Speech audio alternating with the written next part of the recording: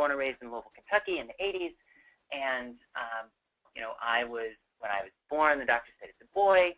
Um, I was I was raised as a boy, but pretty early on, I knew that didn't fit very well for me. By the time I went to college, I uh, I was very clear that my gender identity was female, um, and I transitioned to living as a woman in order to be kind of uh, in order to to be living authentically in my gender identity. Uh, gender expression, another term you might hear, is kind of how we project gender and our gender identity out into the world, those kind of appearance and behavior kinds of, of things. And another term you uh, may hear is gender nonconforming, um, which can overlap with or is sometimes used as uh, different from or sometimes not from transgender. Gender nonconforming refers to folks whose gender expression, characteristics, or identity don't conform to gender stereotypes in some way. So they may not not identify with the gender that they were that they were assigned at birth, um, but they may feel more authentic to themselves as a, a gender nonconforming person when they're expressing themselves in a way that's not stereotypical, or they may have a gender identity that is not strictly and only male or female. So transgender uh, so folks like myself who have that innate gender identity that's different from their assigned sex at birth. Usually, um, we, you're aware from that, of that from early age, we may be able to express that kind of at different places later in life. And this includes transgender women like myself who uh, transition from female to from I've got myself confused now.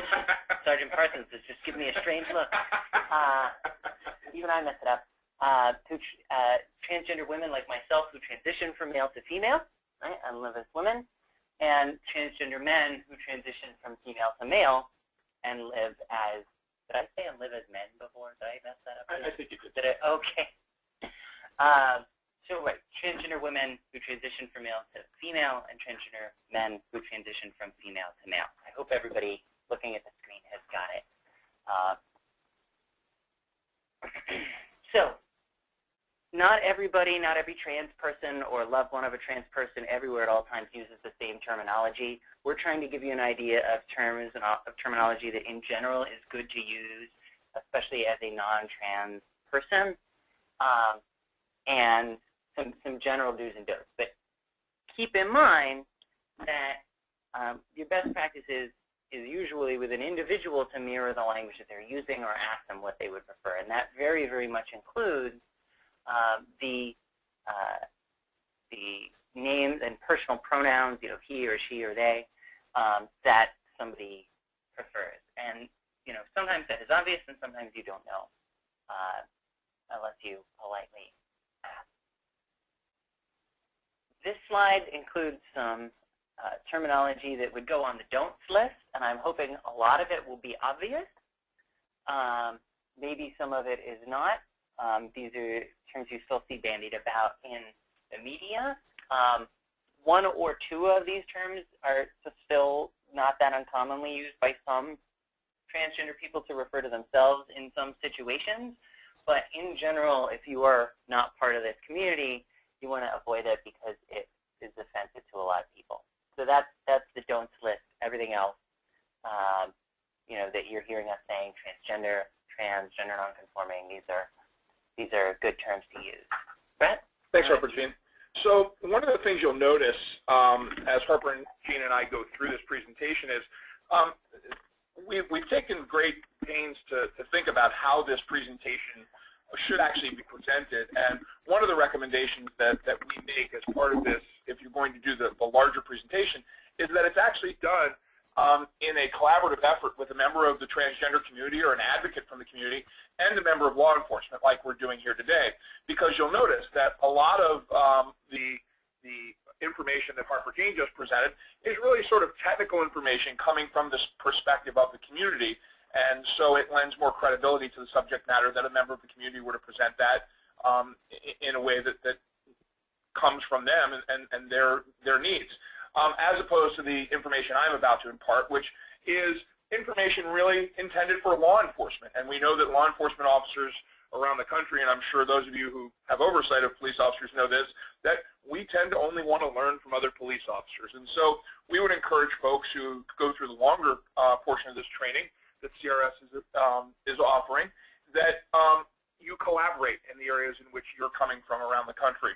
Um, it is also important to know that this training uh, did not just suddenly appear magically. This has been a collaboration between dozens and dozens community organizations, law enforcement agencies, um, non-government organizations, experts in the field, educators, um, and professionals from around the country.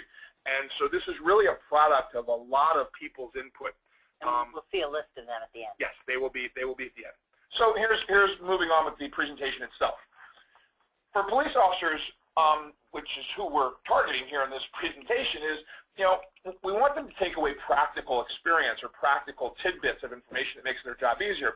So giving them information such as something so simple as when you're not sure, just ask. Ask someone in a professional, respectful, and a relevant way how they would prefer to be referred to, what name they would prefer, and if it gets down to it, what pronoun they would prefer for you to use.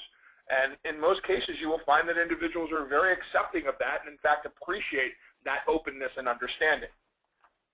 Once that is established, the member or the person conducting the interview should, should stick to that.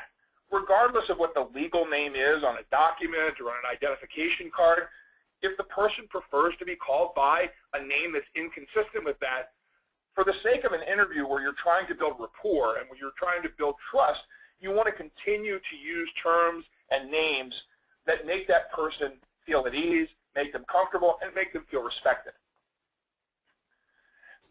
During this training, um, in the longer version, we have um, inserted actual role plays, scenarios where we can take police officers who are participating in this training or other people who are participating in this training and give them real life scenarios. And while we we give examples in the full training that, uh, that we provide, we would hope that local areas would use scenarios that most accurately reflect the areas in which they work. So using geography that makes sense, using terms as far as you know the parts of the city and things that make sense, so that it feels real for the participants. Um, and, and just to give you one example of how this, this might work would be you might just give them a scenario of a simple street encounter of a transgender individual, perhaps on a traffic stop, where the individual sitting in the car is appearing to be one gender, and then the identification that the person presents to the officer clearly depicts an individual of someone of not that gender, and how an officer navigates in a respectful, professional, and relevant way, finding out if that person prefers a different name, a different pronoun, or if it goes that direction, if the officer feels like they're being deceived, how the officer goes about identifying that person in, again, a professional, respectful, and relevant way without disrespecting the individual who's in, in that car. And without making the whole simple traffic stop uh, an unpleasant interaction about the person's name and gender. Exactly. So some things that you obviously want to think about are, are, you know, how do you set that tone? Are you asking questions that are relevant to the investigation? We find as we look at complaints coming from the transgender community, most of the time they're not upset with why the police originally came. In fact, in many instances, it's because the transgender individual was the victim of a crime. So they're very happy to see the police come because they're safe and hopefully this is going to be investigated. But then suddenly the investigation turns from not the crime that was being reported, but to the identity of the person who was reporting the crime. And that begins to set a tone of accusation, of victim blaming that we'll talk about later, and really then degrades the trust um, that should exist between community members and police. So there are a few role plays that are built into the longer version of the training um, that you know can be sort of tailored and used to walk through these questions.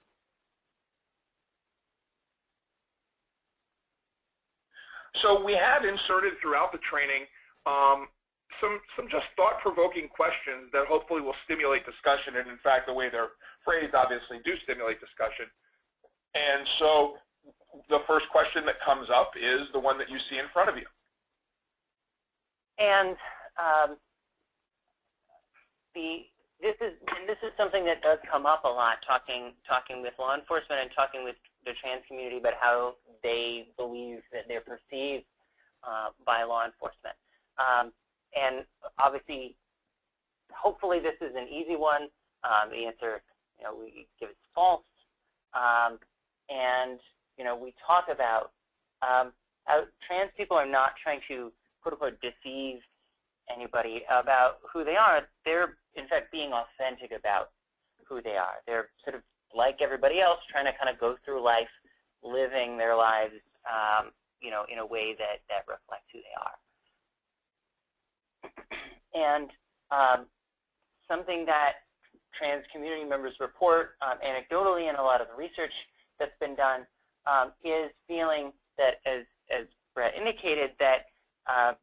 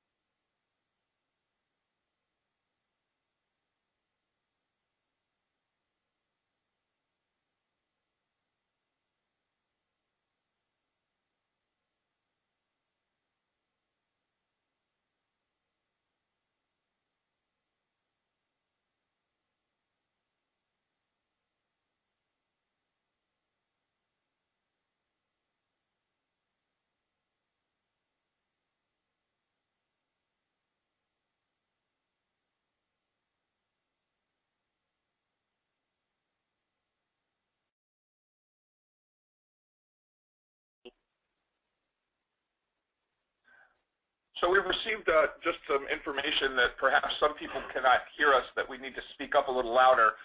Um, is that a consistent issue out there? We're taking a little break because we do see a note that says there's been a request to speak a little louder.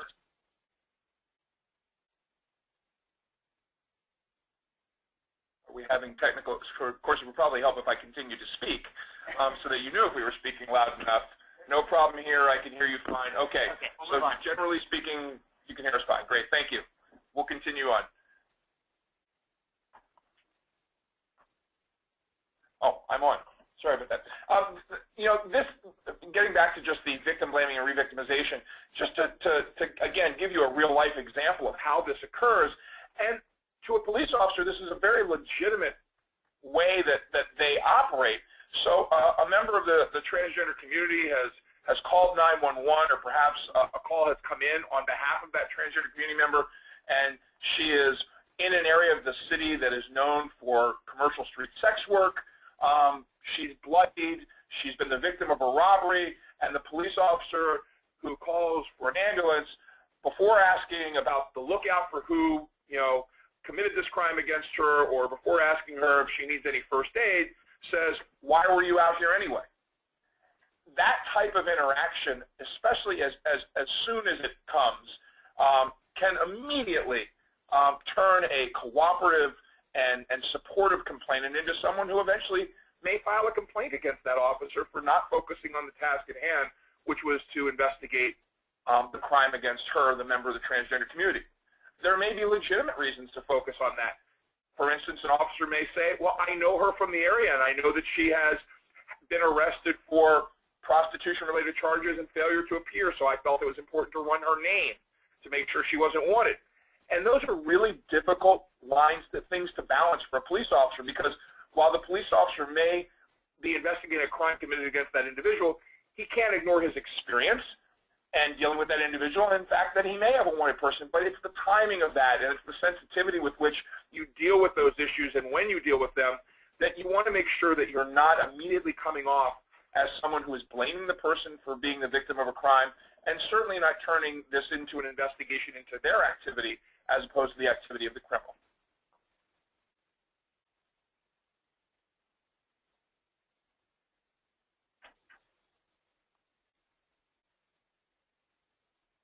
We're still with you. We're just trying to advance the slide here.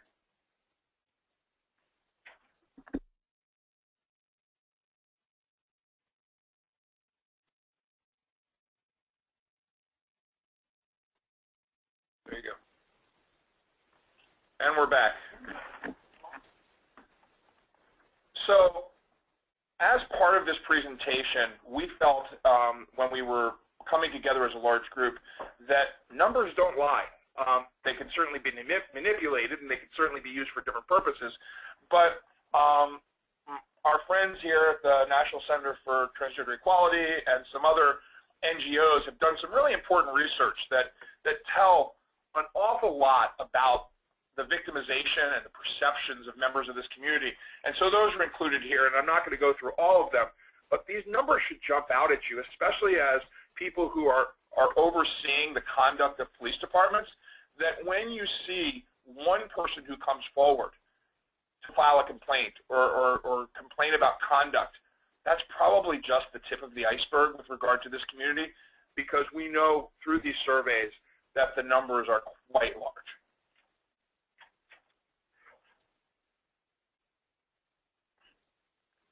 You know, why, why does this community mistrust police? Well, when, when I was with the Gay and Lesbian Liaison Unit for the many years I was there, I talked an awful lot about how I walk this very fine line between advocate and enforcer. And the mistrust is because, unfortunately, members of the transgender community that we come in contact as police officers are on the enforcement side. That's the contact we are having with them. We are, if we're not exposing ourselves to the community at large, only coming in contact with them when they are engaging in criminal activity. And so the bias and the, and the slant and the haze that in the police officer's eyes is every member of the transgender community then is engaging in criminal activity. And of course that, you know, that just reinforces broader societal stigma and, and images about transgender people and um, contributes to the, the perception of the trans community that they can't trust law enforcement and the law enforcement may be uh, even dangerous to interact with.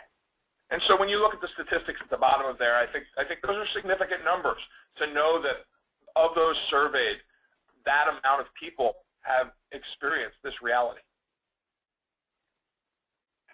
And that reality ranging from, from people reporting assault my officers, reporting harassment, and reporting uh, profiling that just by being a transgender woman of color walking in a certain place at a certain time. Walking while trans. Is yes. what we call it, yes. Yes. I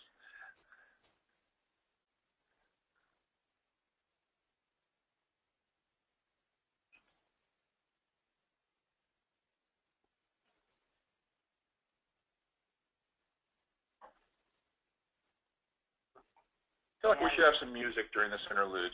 Well, we play How Many Lawyers Does It Take to Use PowerPoint? oh, yeah. okay, so. So, as, as they're advancing the slide, um, to give you just a little bit more background on this presentation, um, CRS is um, in the midst of finalizing this PowerPoint that is going to be going up on the website and be available um, throughout the world on the World Wide Web and is going to be putting out more information on how organizations like yourself can access this training.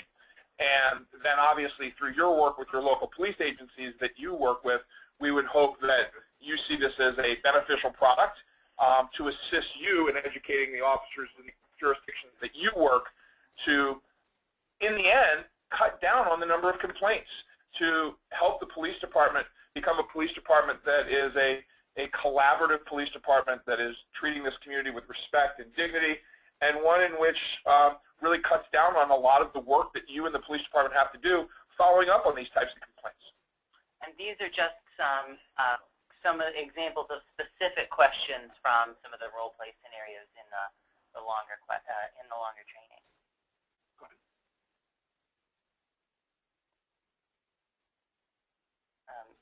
One of the things that we try to really reinforce again and again in this training is, uh, as Brett said before, the, uh, the respecting a person's self-identification, using la the language that is respectful, including uh, gender pronouns, he or she or they, that that uh, conform to how a person sees themselves or what they how they say they want to be uh, want to be referred to, um, as well as thinking about what are best practices for things where we are used to where law enforcement are used to thinking about gender.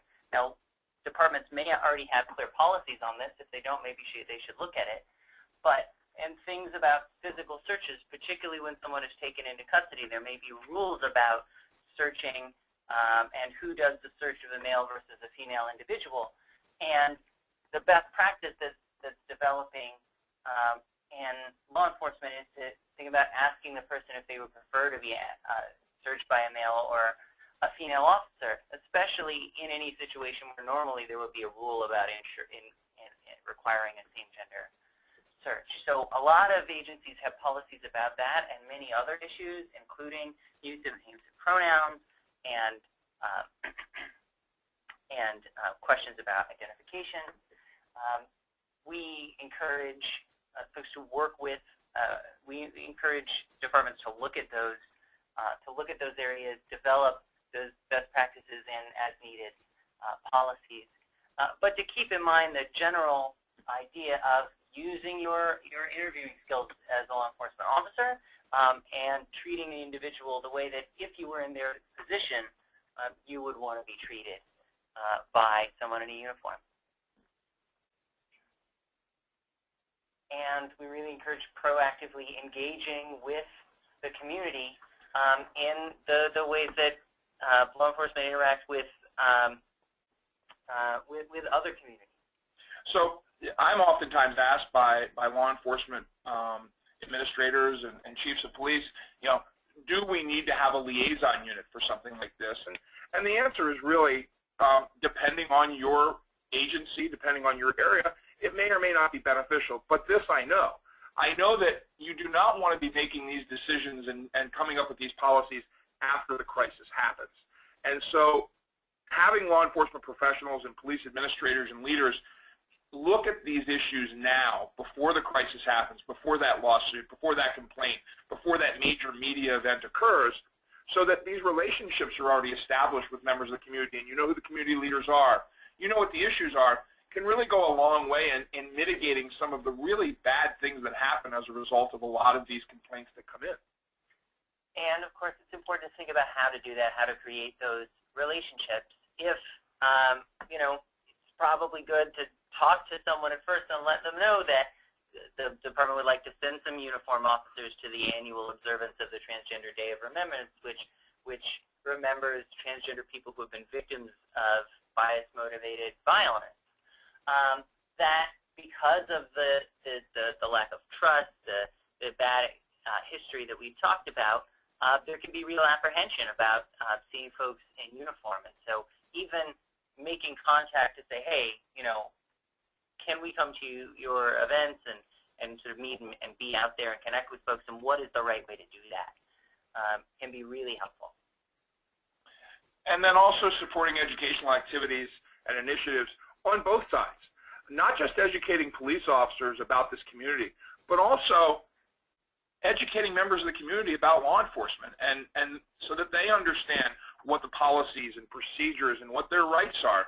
Because an informed community is oftentimes a community that is most supportive and can come to your defense in some instances where they read or they hear through the grapevine about alleged misconduct. And if you've already educated them about how officers are supposed to respond and they read about it and they say, well, wait a second, that sounds like exactly what they were supposed to be doing. Um, and, and you've already nipped that issue in the bud by making sure that your community is educated conversely, from a civilian oversight perspective, this kind of community, community engagement may help folks feel more empowered to file those complaints when it is appropriate. And as you can see, we just had a whole bunch of people involved and groups involved in this. And uh, to pick anyone out would, would really not do justice to this um, the, the collaboration that occurred and the levels of expertise and passion behind this subject were just amazing. The word historic was used a lot. Uh, that being said, these are by no means the only uh, experts out there in law enforcement or in the LGBT community that folks could work with on doing this training or doing community engagement with the trans community. There are a lot of other folks out there who are helping um, CRS roll out this, this training locally, but this was the big group that, that really helped put this uh, together on the front end. So at this point, I think what we're going to do is uh, open it up for questions.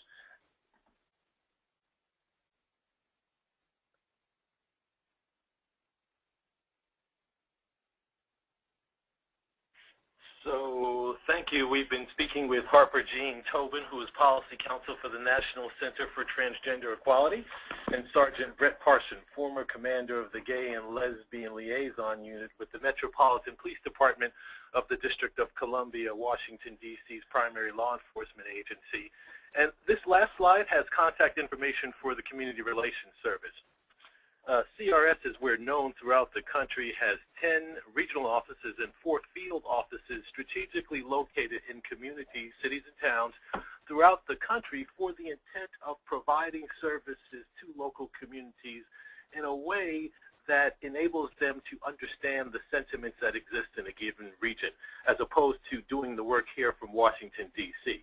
As such, if there is interest on the part of any of the participants about working with CRS to actually conduct an LG, um, a transgender law enforcement training, uh, please just call us at the number that you see on the screen. Uh, we'll uh, just refer you to the office closest to your uh, particular location, and then from there we can begin working with your local law enforcement agency, Human Resource Commission, or other entity and the community to address some of the things that have been covered here today. At this point, if you do have questions, please just send them, and uh, we'll just uh, have Harper Jean and Sergeant Parson begin answering them as they come forward. Um, we had one question that was about a specific slide that we're going to go back to, but in the meantime, um, I wonder if Sergeant Parsons wants Sure, to that bottom one? to- Absolutely. So the question was, uh, when is the appropriate time to integrate these lessons into officer training? In the academy, ongoing, or remedial? Um, and the answer to that question is yes, uh, all of the above. It, it, is, it is best to, of course, immediately when you start to train police officers, start making sure that these terms, that these communities are part of just everyday jargon. They should not be um, surprised when they see this when they come out of the academy. With that said, it should not be a one-shot deal. It should not be one, two, three, four hour or eight hours class that they get in the academy and then they never hear about it again. So using in-service trainings and roll call trainings, annual in-service trainings, incorporating it into other annual trainings like firearms training or perhaps domestic violence training and bringing LGBT-related issues into those trainings that go on throughout the year are also great ways. And then, of course, you're going to have people that break policy or do things that are inappropriate. Obviously, disciplinary action is necessary in some of those instances, but remedial training may be necessary, and so you may need to do that sort of thing um, to to backtrack and, and send people through again to make sure that they've received the proper training that they should have gotten to begin with. And so you want to make sure that this is something that that is being done on a regular basis. In just the same way that you would with, with other uh, you know, with other diverse communities, particularly diverse communities that there's a, a particular need to kind of build uh, real relationships or address distrust uh, with. We're talking about a small but significant segment of the population estimated to be 700,000 transgender adults in the U.S., as well as a population of thousands of, of children and adolescents who are increasingly coming out as transgender um, at, at younger ages. So these are folks in every community. They're part of the fabric of the community. Um, every age, race, religion, uh, background, profession, and so on. Um, and so people, you know, uh, officers are, are going to interact with, with transgender folks. And so that's why that sort of all of the above training approach is important. So we received another question that Gil will address, and that question was, is the Department of Justice considering developing a similar training for departments of corrections or for officers in jail and prison contexts? And I'm assuming that the officers aren't in jail, they mean in the context of corrections. That, that's what we would hope. So obviously there's a tremendous need. One thing that we've seen in our work across the country is that sometimes the most critical issues involving law enforcement and transgender community have to do with custody and jailing and so forth. So in that sense, we do know there's the need. Um, now, keep in mind, the Community Relations Service is an organization that helps communities and local law enforcement work through tensions. So when it comes to jailing and housing people, um, again, we know that they're critical issues, but we would probably turn to our sister or cousin agency, the U.S. Department of Justice Bureau of Prisons, to be engaged in that type of uh, training being developed. So the answer would be essentially, we do not at the Community Relations Service have plans to do so. We know the need is there, and um, we may very well be turning to other entities within the Department of Justice to address that issue. And let me point you to where there is some of those resources already is part of the, a sort of part of the Bureau of Prisons, which is the National Institute of Corrections, which is essentially a, a kind of uh, clearinghouse and almost think tank on corrections within the federal government. They have put out um, a policy review and development guide for corrections agencies um, regarding working with LGBT and intersex people. Um, and they uh, have also done some training broadcasts that are archived on their website and a whole bunch of other resources on their website. They're working to develop more. So it should be easy to find the LGBTI resources on the National Institute of Corrections website, and that is a great, great place to start. I, would also add, this is Gilbert Moore from the Department of Justice, that we didn't talk very much about custody issues. Um, and I've seen Harper Jean and Brett do a similar presentation, and they've talked ad nauseum about that and uh, about all the sensitivities that exist there. So it is a very significant and important issue in discipline, and one that I would encourage you to follow up with uh, based on the resources that Harper Jean just shared. So we have another question that's come in, and thank you, by the way, for these questions. They're, they're rolling in. Um, where should oversight go to start the process of building a bridge with the transgender community locally? Well, this, this starts with, with all members of government, really not just police and, and, and law enforcement, but also you in the oversight community. And that is, the first thing you have to do is identify who and where your community is. And, and that's one of my first questions anytime I'm called by a chief of police who is thinking about starting a liaison unit. I ask, do you know the community leaders? Do you know where your community socializes? Do you know where your community holds their events? Do you know who the organizers are? And if you don't have the answers to those questions, you need to start doing some research. You need to reach out to those people. You need to start extending a hand and let them know this is an issue that we think is important. We want to learn more about it. And the way that we think is best to learn about it is to build a relationship with you. And what you will find is that those community members that you contact will bring other community members in, begin introducing you to other community leaders, and then the larger community becomes sort of infected with this feeling of trying to build trust, and that's the best way to do it. And, you know, who are those first people that you can engage with um, is going to depend on where you are. In some places, it may be an LGBT community center, it may be a transgender advocacy organization, it may be a, a social service organization that has a lot of experience and competence dealing, working with trans people and has trans people on their staff or their, their, their volunteers. Um, uh, it, it may be um, you know, through if there's any kind of LGBT liaison in the larger city um, or county government.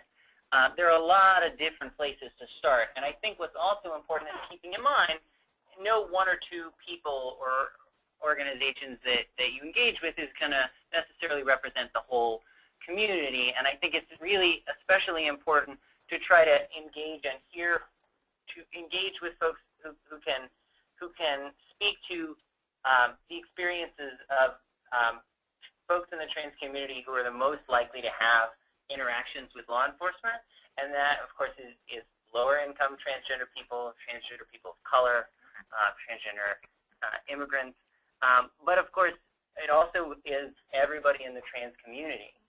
Um, but just, which is just to say that, you know, contacting with like the one local like transgender support group that's all like middle class, middle-aged, white transgender women is a good, maybe a good place to start, but it's not necessarily where you want to finish in terms of engaging with that, that whole community.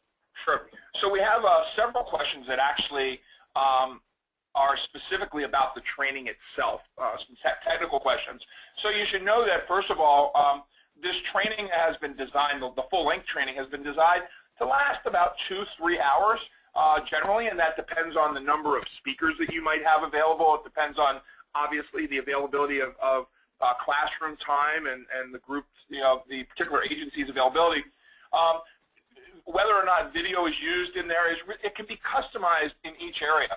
And so uh, depending on the speakers who might bring resources themselves, they may use videos as part of the presentation, and there's time for that. And then lastly, um, how do you get a copy of this? The first thing I would encourage you to do is, is obviously to reach out to the CRS website um, surrounding this issue, but also in each of your areas you have a regional coordinator for CRS, and they have all very recently um, been um, been acclimated to this, have been presented this um, this program, and so they are now available to serve as conduits for this training.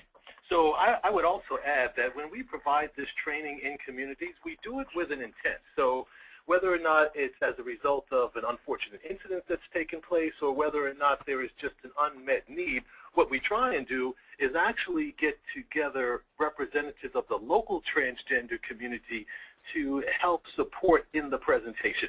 So a part of this is informing law enforcement, but what we actually hope will also be an outcome is building the relation, developing the partnership.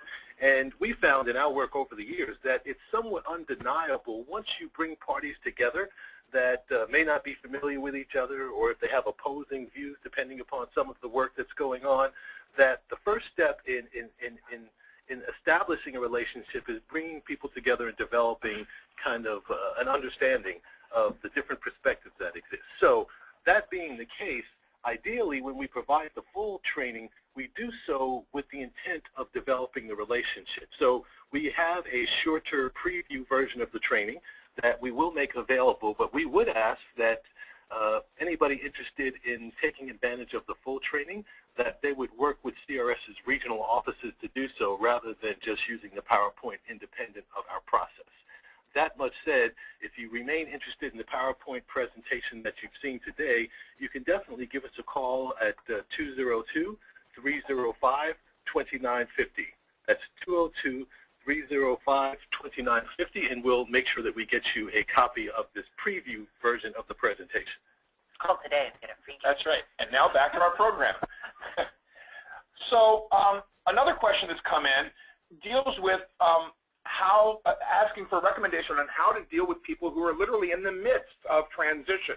Um, so, for instance, you have uh, an individual who's come to you regarding a complaint, and that individual, as part of your intake process, has to provide an ID or perhaps fill out a form, and it it, it does not um, it, it is not consistent with what their government ID is and, and how you deal with that. Well, this is not something that is unique, of course, to oversight agencies. Uh, the courts deal with this. Law enforcement deals with this.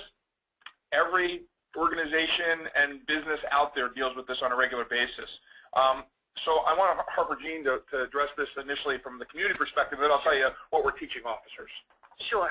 Um, I, I, think a couple of realities that this points to. One is that gender transition looks different for everybody. It doesn't have a, a single sort of beginning, middle, and end that, um, and I think the narrative generally is that it's, you know, it's a process that's all about medical treatment, um, and there's a definite endpoint that is usually thought of as being about um, about specific kinds of surgeries, um, and that's not really how it works um, in the in the in the real world and in, in real healthcare and in, in real people's transitions.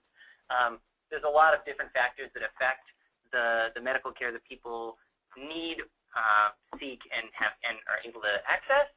Um, and all of those, as well as other parts of what gender transition looks like, really are different for everybody. So there's not necessarily a final step for everybody. And then with regard to ID, we have a real patchwork of different state agencies, different states, different government agencies, as far as changing names and genders on documents. So it's quite common for transgender people to not be able to have updated some or all uh, of the ID that they have, and they may in fact have different documents, an I, a driver's license and a birth certificate, and a passport, say, and a social security card that may have differing names and genders on them because of the different hoops that they either were or were not able to jump through uh, based on where they live, their economic situation, their medical situation, and so forth.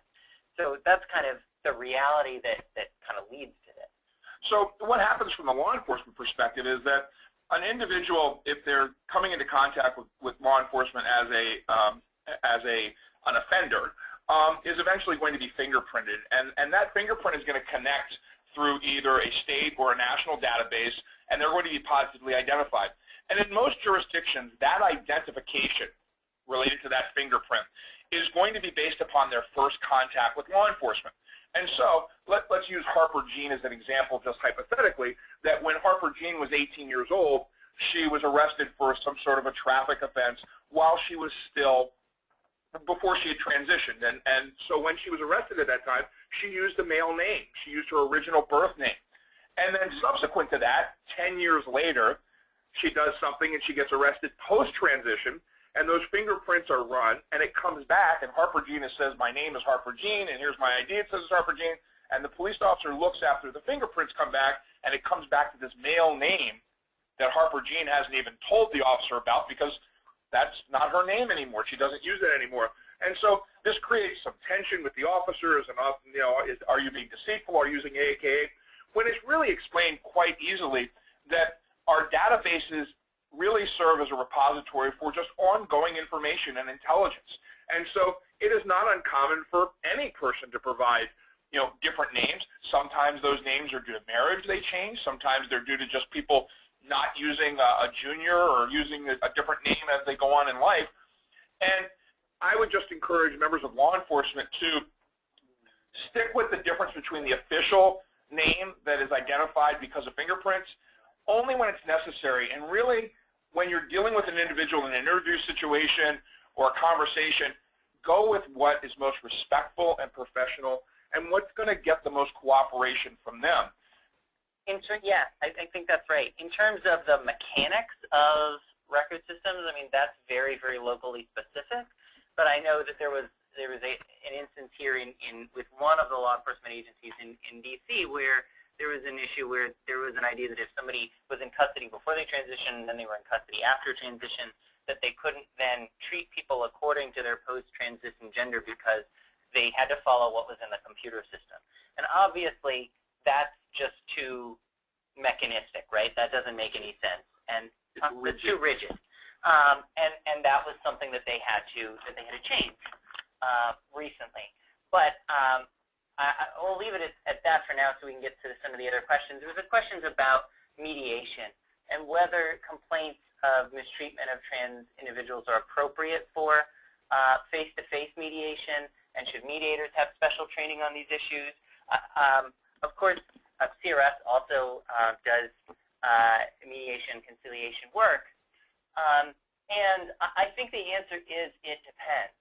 I mean, imagine that you're looking at some other kind of bias-related incident um, based on race or based on membership in a religious minority, um, it might depend, and it would probably, uh, one of the biggest factors would be, you know, what um, what does the, the person, what does the person who's been affected, who's made the complaint say, um, you know, what do they want to have happen? I mean, in general, I would think that the, if you have good principles for how you do mediation, including in bias-related incidents, including in misconduct or, or, use of force incidents, um, that uh, that you know the same would generally apply here, um, where there may be you know issues of mistrust, of discrimination, of stigma, um, and and fear related to all of those things.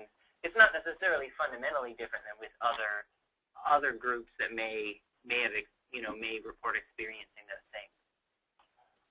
So we um, we have about five minutes left. We have one more question and then a couple of just housekeeping issues here. Um, the next question is, uh, do law enforcement agencies permit or recruit members of the community, I assume meaning the transgender community? And I, I can tell you that um, speaking locally, um, I am aware of many individuals who have either become police officers post-transition or have transitioned on the job. And while they've had varying degrees of acceptance and their experiences have been um, sort of on the spectrum of, of acceptance and, and um, that sort of thing.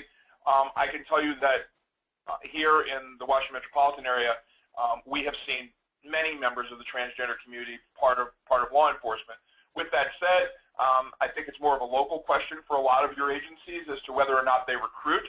Um, and so I can't I can't speak to that as far as the national trend. But certainly having a diverse force um, is desirable for a whole lot of reasons. And um, while in the past, you know, we saw a lot of law enforcement agencies get complaints or lawsuits of discrimination by transgender officers or applicants, nowadays I think agencies are, are working proactively to, to have, you know, equal employment opportunity for this community. And I know the Los Angeles Sheriff's Department recently became the first agency to have a, a really published, uh, comprehensive written policy on um, transgender officers and what trans transition on the job looks like. Um, if you are interested in working with your agency to be ahead of the ball on that, uh, that's a model you could look at. So um, wanted to remind all of you that if for some reason you missed something uh, part of this webinar and you wanted to hear it again, um, it was just that good, that this is being recorded and will be on the NACOLE website, which is www.nacole.org, I think, because the slide just left me. Um, and then I also wanted to provide you with, again, the contact information for CRS, which is at the end of this presentation because someone asked to see that number again. So we'll leave that up for a moment for those of you that wish to uh, get that number again or go back to our, uh, our deep-voiced uh, announcer here with that number. So thank you, Brett. And for anybody who would like to uh, be in contact with CRS about this training or about any of our services, you can reach us at our headquarters office at 202-305-2935. That's 202-305-2935.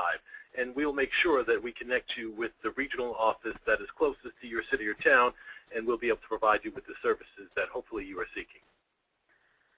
On behalf of National Center for Transgender Equality, I just want to thank uh, CRS and uh, Sergeant Parsons and uh, NACOLE for having us.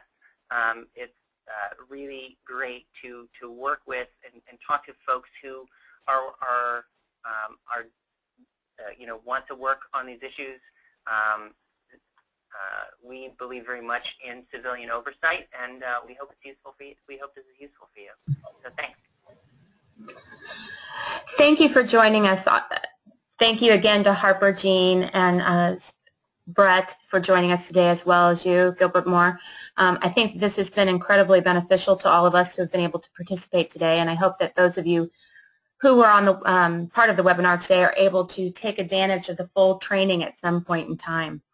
Um, on behalf of NACOLE, I thank all of you participating. You will be receiving a uh, follow-up survey in the near future with a, just a couple of questions that help us uh, know how this uh, worked for you. So again, uh, if you do want to watch this again, please visit our website, www.nacole.org. You are correct, Brett. Um, and uh, you will be able to watch the presentation in its entirety there. So again, thank you very much, and we hope that you will uh, join us again sometime.